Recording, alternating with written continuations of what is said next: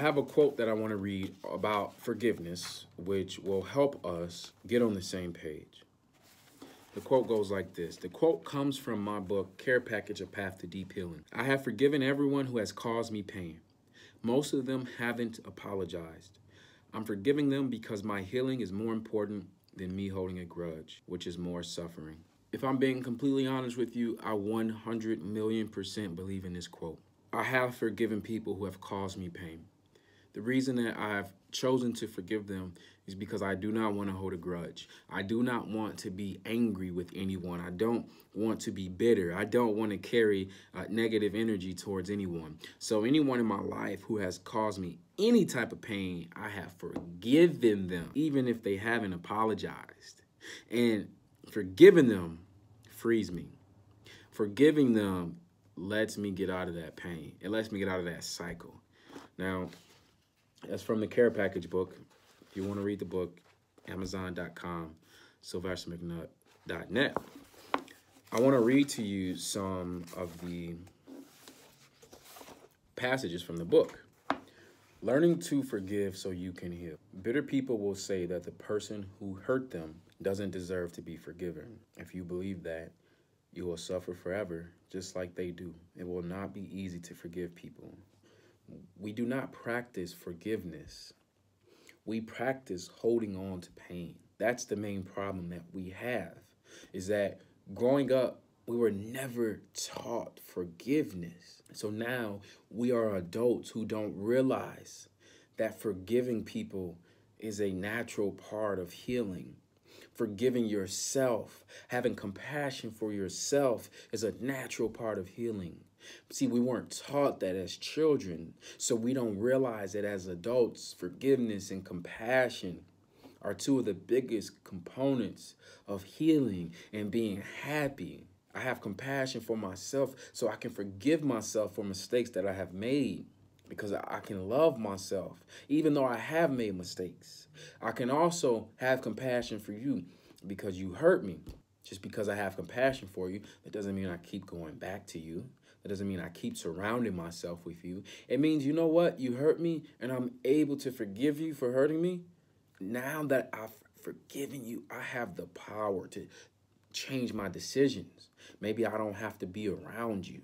Or maybe I change how I'm around you. Or maybe I change the access I give you to me. Or maybe I change the access I give you to, to my emotions. See, that's what happens when you deal with compassion and heal, or, or compassion and forgiveness. You heal deeply. This is what I'm talking to you about. This is all from the Care Package book, Care Package, A Path to Deep Healing.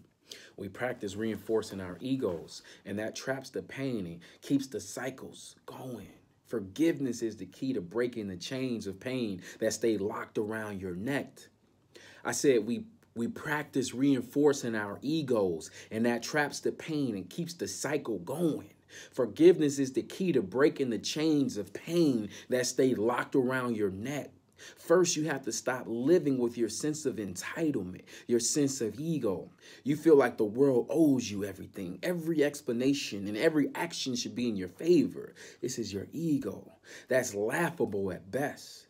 Keeping that mindset will forever enslave you to your pain. Once you accept that nobody owes you anything, which is you freeing your ego, then you can forgive the people who have hurt you.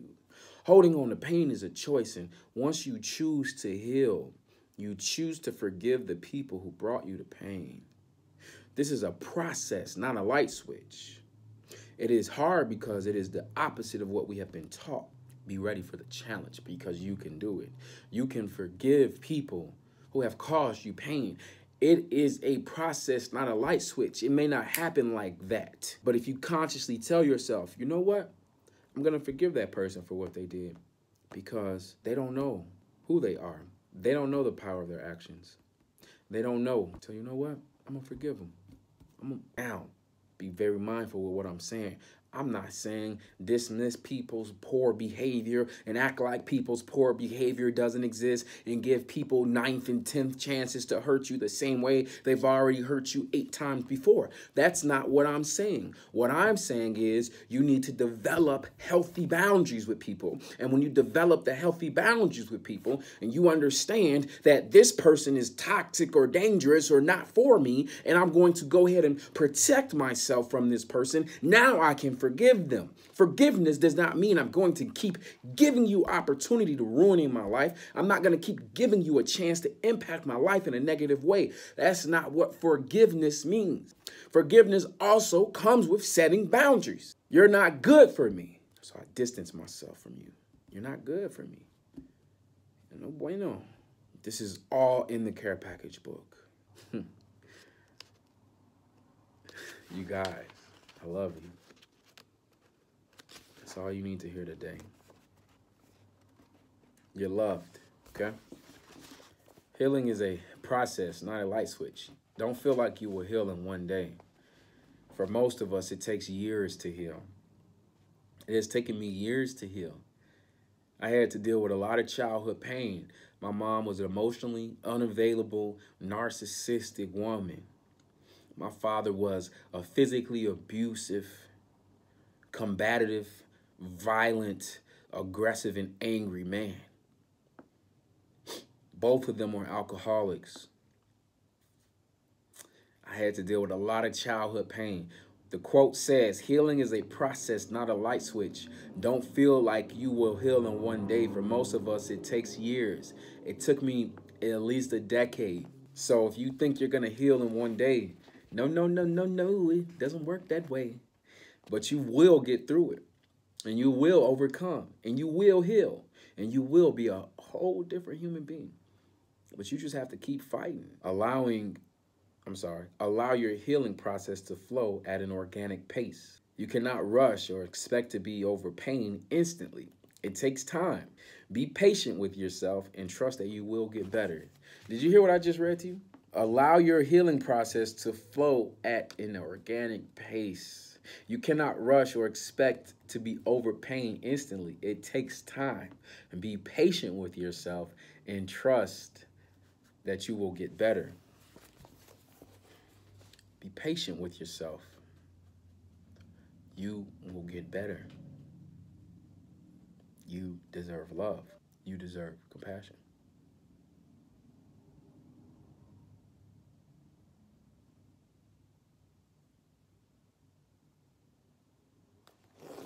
Forgiving someone doesn't mean you're allowing them to come back. It means you're choosing to let go of the pain they once brought. Forgiving someone doesn't mean you're allowing them to come back. It means you're choosing to let go of the pain they once brought. This episode is going to end right here. I've given you a lot of words and thoughts and ideas on healing, how to deal with the ups and downs of life. Forgiveness is a part of it, compassion is a part of it. Make sure that as you're struggling in life or dealing with little struggles, you keep patience and you keep compassion. Those are the two most important things. Patience is going to allow you to stay focused and it's going to allow you to realize that you don't have to fix it right now. You don't have to be over it right now. It's okay to not be over it. It's okay to still be dealing with it. It's okay to still be managing problems. Don't think that you have to have all your problems figured out. Don't think that you have to have life figured out. If you're struggling, if you're going through it, just give yourself patience. That's all you need. Patience to know I will get through this moment. Patience to know that I'm strong enough to get through this moment. Have compassion for yourself. Have compassion for the people you love. Have compassion for people that you see that you're judging everywhere you go. Have compassion for yourself. The thoughts that you have, you're beating yourself up, telling yourself you're unworthy of healing. Don't do that. Have compassion for yourself. You are worthy of healing. You are worthy of patience. You are worthy of love. You do have to remember this. You do have to believe this. You are free. You are already free. Your energy is already free. It is just us getting there together as two friends, as two people walking on a journey. At the beginning of this podcast, I introspected with you stories about what I'm dealing with and what I'm going through to show you that no person is perfect, that no person has it all together. No person that you follow on social media has all of their life together. Every single human being has some type of struggle, has some type of problem, has something to overcome.